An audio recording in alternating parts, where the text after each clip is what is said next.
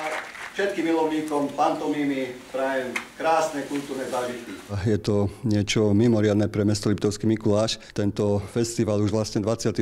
ročník je skutočne obľúbený nielen medzi mladými, ale myslím si medzi všetkými vekovými kategóriami, pretože tento festival je jedinečný. Nielen u nás, v našom meste alebo v regióne Liptova, ale jedinečný na celom Slovensku a o to viac si to vážime, že takéto niečo môžeme znova hostovať v našom meste a znova takto presláviť naše mesto aj v súčasnom ťažkom období.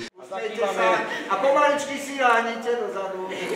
Toto umenie je veľmi živé, veľmi silné a je v podstate veľmi potrebné, pretože keď nad tým premýšľam, čo to vlastne je toto umenie, tento spôsob divadla, to je základ keď sa pozrieme do minulosti, základ vôbec ľudskej civilizácie. Pozerať sa na svet, vedieť to určitým spôsobom v sebe stráviť, spracovať a dať ďalej, to je základ predsa celej kultúry, ktorá potom na to vznikla. Náboženstvo, filozofia, medicína, všetko. Nesmierne si vážim práce Mira Kaspříka, pretože to, čo on robí, to by malo byť o mnoho viac ostenené a, a o tom by sa malo o mnoho viac vedieť, ako sa vie. To je skutočne neuveriteľná práca. A to pre tú Slovensko, pre tú kultúru.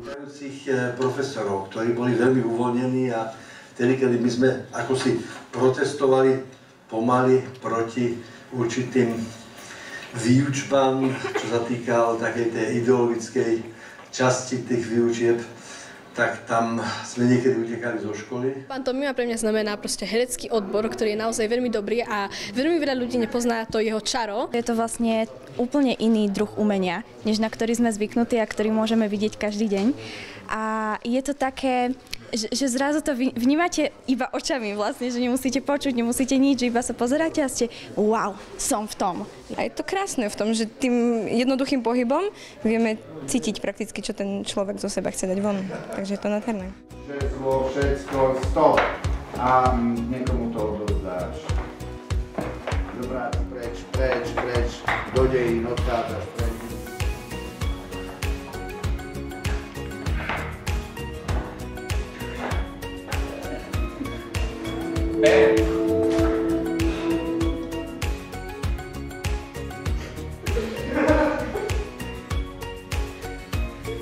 Najkrajšie pre mňa bolo zistenie, že napriek dvom rokom, ktoré sa nekonali, aj keď sa pripravili veľakrát a podpresúvali a, a tak, a prišli sme o ten 27. ročník, tak ten 20. ročník, 28.